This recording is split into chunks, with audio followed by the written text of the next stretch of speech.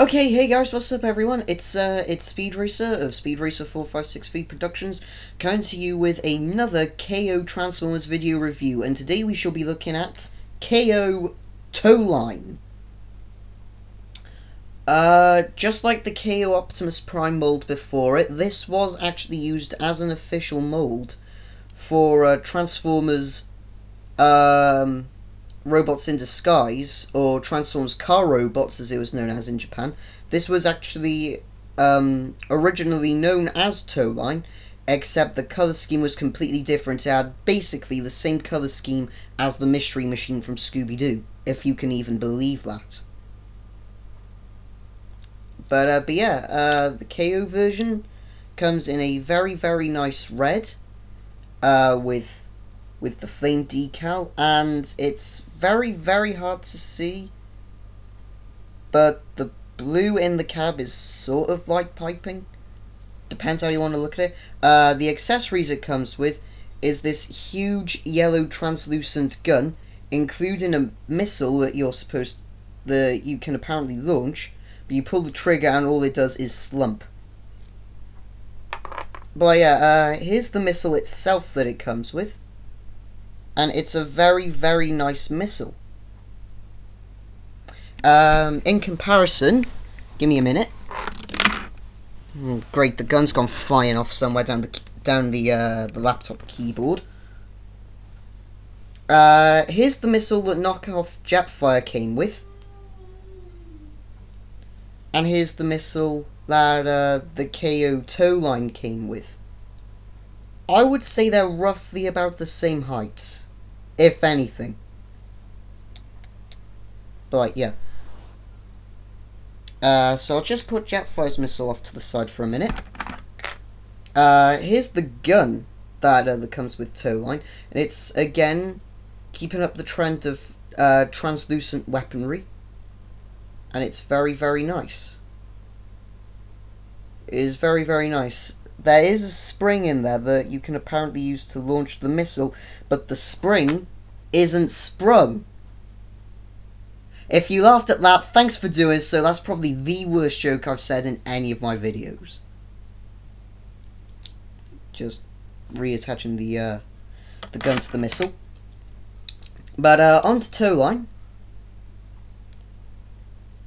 Uh, so yeah, so uh, so that's transforming.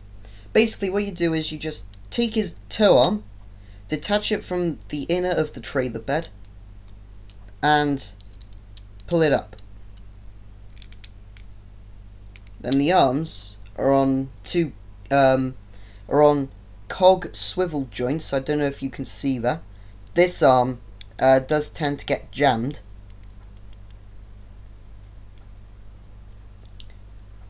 And uh, and yeah, that is KO tow line in uh, in robot mode. Sad but true. Um, fun fact about the original uh, Towline figure. I guess I should have showed this off when he was in vehicle mode. So I'll just transform him back really quickly. Ta-da! The, uh, the grill could be slid out, and I don't know if you can see... Up, visible head syndrome. But here, there are two small clips. Now, what those clips used to hold was, um, was a rifle, was a rifle barrel. So basically you'd just detach the grill and he'd be able to hold it as his gun. Or with this being a KO figure, they decided to literally knock that idea on the head, in a matter of speaking, and include it with a gun that's just way too far out of scale with him, in my personal opinion. But, uh, but yeah, he, he can hold the gun, and it just sits there in his hand quite snugly.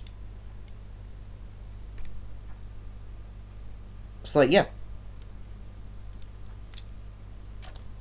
Uh, so articulation wise, as you can as you can see, or as you already just saw, he does have articulation in the shoulder, courtesy of a pin joint.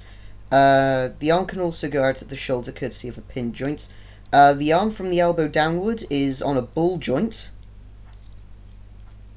So yeah, but because of the crappy quality of it, it only just allows you to make the uh, the lower part of the arm do a 360 with it feeling as if it's about to break, which kind of sucks a little bit.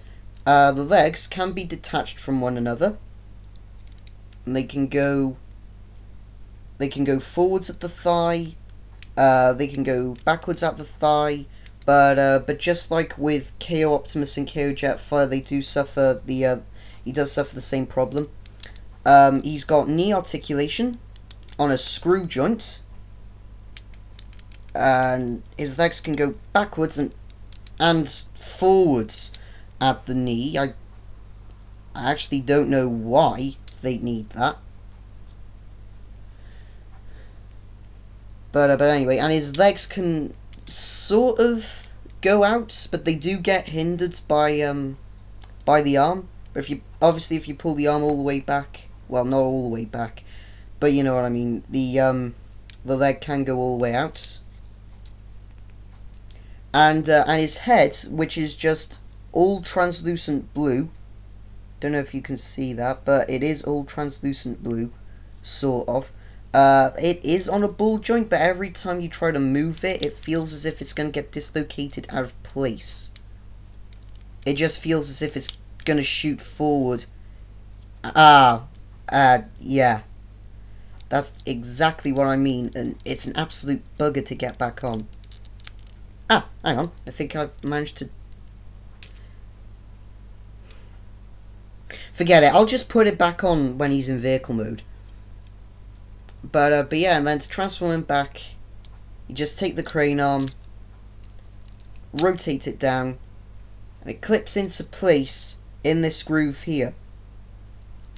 And just take the arms, fold those in, and there is KO tow line back in his vehicle mode. Uh, let me just see if I can reattach the head on this goddamn awful ball joint. Stay. Good.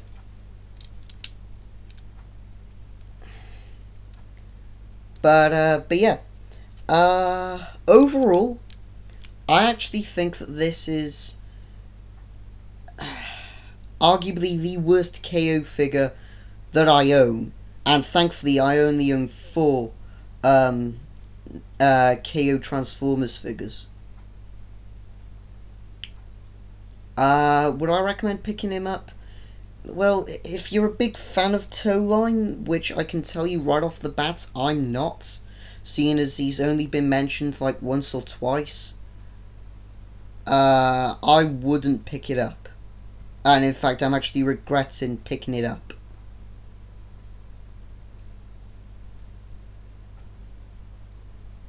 Um, however, if you do see the uh, the original one in its um, RID or Transformers Car Robots uh, color scheme, and yes, Car Robots was uh, the name of Transformers Robots in Disguise over in Japan.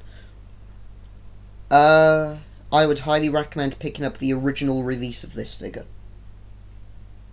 With the uh, with the grill blaster, not this stupidly overcast and oversized uh, piece of translucent trash. So, uh, so yeah, uh, next time is actually going to be uh, the last KO Transformers figure review. Uh, it's going to be of KO Mirage. So until then, folks, this has been Speed Racer of Speed Racer 456V Productions saying thank you for watching. Goodbye.